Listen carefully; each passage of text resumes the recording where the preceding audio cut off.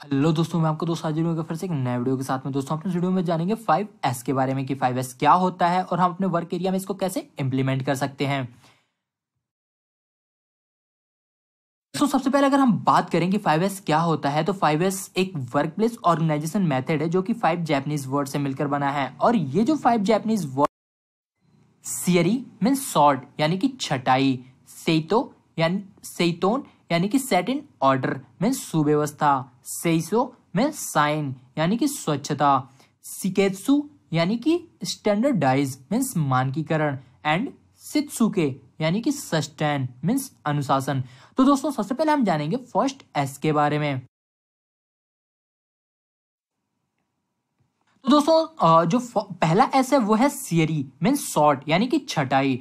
छटाई का मतलब कार्यस्थल से आवश्यक व अनावश्यक वस्तुओं को अलग अलग करना होता है। जैसे कि कुछ वस्तुएँ ऐसी होती हैं जिनका यूज़ हमें कभी नहीं होता। मीन्स अननेसेसरी आइटम साथ ही साथ कुछ वस्तुएँ ऐसी होती हैं जिनका हमें ज़रूरत पड़ती तो है लेकिन आ, कभी और। मीन्स नेसेसरी आइटम दोस्तों अब हम कैसे ये डिसाइड करेंगे कि कौन से जो आइटम है वो नेसेसरी है और कौन से अननेसेसरी इसके लिए हमें कुछ बातों का ध्यान रखना होता है जैसे not needed at all means कुछ ऐसे आइटम जिनकी हमें कभी ज़रूरत नहीं पड़ती। जैसे कि दोस्तों, मशीनों से हमारा जो स्क्रैप निकलते हैं, उनकी हमें कभी ज़रूरत नहीं पड़ती।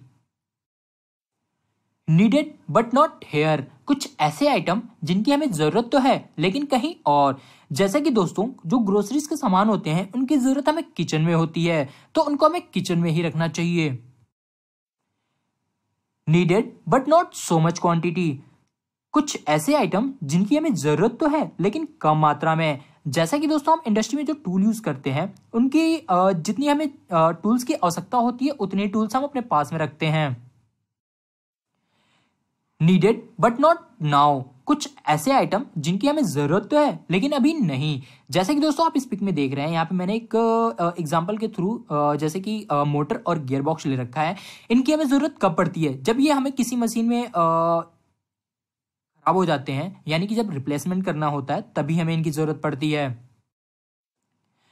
उसके बाद दोस्तों red tag and yellow tag red tag and yellow tag का मतलब यह है दोस्तों कि जब हम नेसेसरी और अननेसेसरी आइटम को अलग अलग कर लेते हैं तो उनको हम टैगिंग कर देते हैं। जैसे कि अगर कोई ये भी चेक करने आए कि कौन से आइटम नेसेसरी है और कौन से अननेसेसरी तो वहाँ पे उसको आसानी से पता चल जाता है। सेतो मीन्स सेट इन ऑर्डर यानी कि सुव्यवस्था। इसमें प्रत्येक वस्तुओं के लिए एक जगह निर्धारित की जाती है और वह वस्तु उसी जगह पर रखी जाती है जिससे कि हमें जब उस आइटम की ज़रूरत पड़े, तब हमें वो आसानी से मिल जाए। इसके लिए दोस्तों हम एक फॉर्मूला यूज़ करते हैं कि give everything a place and a place for everything जैसा कि टूल रूम में हर एक टूल को उसकी जगह पे रखते हैं, जिससे कि हमें जब किसी टूल की आवश्यकता पड़ती है तो हम उसे उसकी जगह से ले सकें और हमें उसको ढूँढने की ज़रूरत नहीं पड़ती, जिससे कि हमारा जो सर्चिंग टाइम है, वो काफ़ी ज़्यादा सेव हो जाता है। उसके बाद दोस्तों, जो थर्ड एस आता है, वो है सेसो मीन्स साइन यानी कि स्वच्छता। इसमें कार्य क्षेत्र की अच्छी तरीके से सफ़ाई की जाती है और सफ़ाई के दौरान समस्याओं की जाँच की जाती है। काफ़ी सारी इंडस्ट्री में फाइव एस के लिए एक समय निर्धारित किया गया होता है और प्रत्येक वर्कर को अपने लाइन पे फाइव एस करना होता है। उसके बाद दोस्तों सिकेत्सु, यानी कि स्टैंडर्डाइज मीन्स मानकीकरण। इसमें हर एक चीज़ को स्टैंडर्डाइज किया जाता है और उसका पालन किया जाता है। साथ ही साथ कुछ ऐसे रूल्स बनाए जाते हैं, जिससे कि समस्या आसानी से पता चल सके।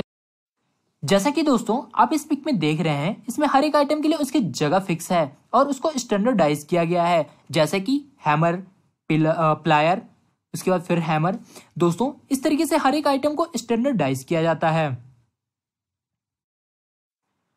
उसके बाद दोस्तों, सित्सुके, यानी कि सस्टेन, मीन्स अनुशासन। दोस्तों, जैसा कि हमने फोर कर लिया तो अब हमें इसके लिए कुछ रूल्स बनाने पड़ते हैं, जिससे कि जब हम आगे फाइव एस करें तो इन नियमों का पालन करें। अनुशासन के लिए वर्कर को ट्रेनिंग देना और उन्हें रूल्स के बारे में बताना होता है। दोस्तों फाइव एस का जो बेनिफिट है, इससे प्रोडक्ट की क्वालिटी में इंप्रूवमेंट होता है टाइम की बचत होती है और साथ ही साथ कॉस्ट सेविंग भी होती है और एक्सीडेंट के जो चांसेस होते हैं वो बहुत ही कम होते हैं।